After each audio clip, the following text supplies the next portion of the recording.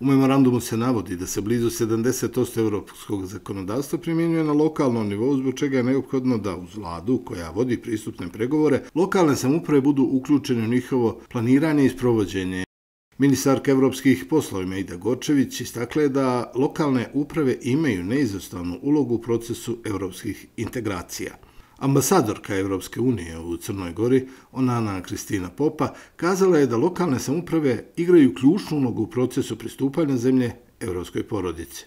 Prisutima se obratio i predstavnik upravnog odbora zajednice opština u Crne Gore, Dušan Rajičević, koji je kazao da se pored novih obaveza lokalne samuprave susreću sa novim šansama koje se ugledaju korišćenju kohezijonih i drugih fondova.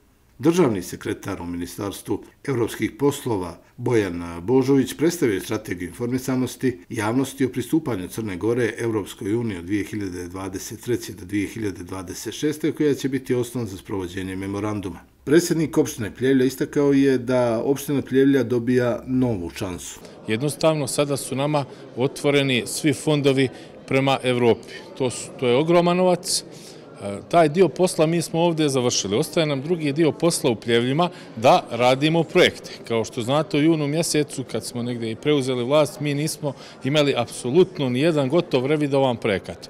Do sada imamo 16 projekata e, samo putne infrastrukture i lokalna uprava vodit će politiku u tom pravcu da što više projektujemo. Ako ste vidjeli ovaj nacrt budžeta za lokalnog budžeta za 2024. godinu, mi smo skoro milion evra opredijelili samo za projektovanje.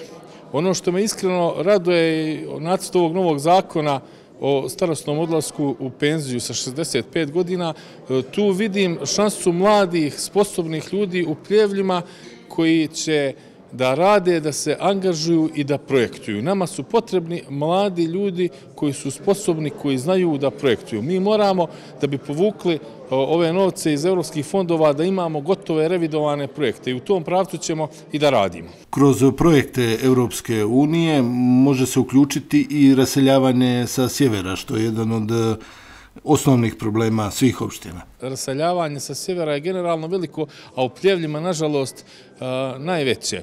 Mi idemo u tom pravcu da, da smanjimo iseljavanje iz pljeva. Međutim, moramo se fokusirati i na ostale radove. Moramo da radimo infrastrukturu, moramo da gradimo, a za sve to su nam potrebni projekti. Kao što sami znate, e, situacija koju smo zatekli da budem skroman, ali nije baš bila zadovoljavajuća, nekako smo u svemu bili zapušteni, ali pokušavamo da radimo i da gradimo. U svakom slušaju, nova šansa opštene Pljevlja kroz evropske integracije da poboljša kvalitet života u našoj opštini.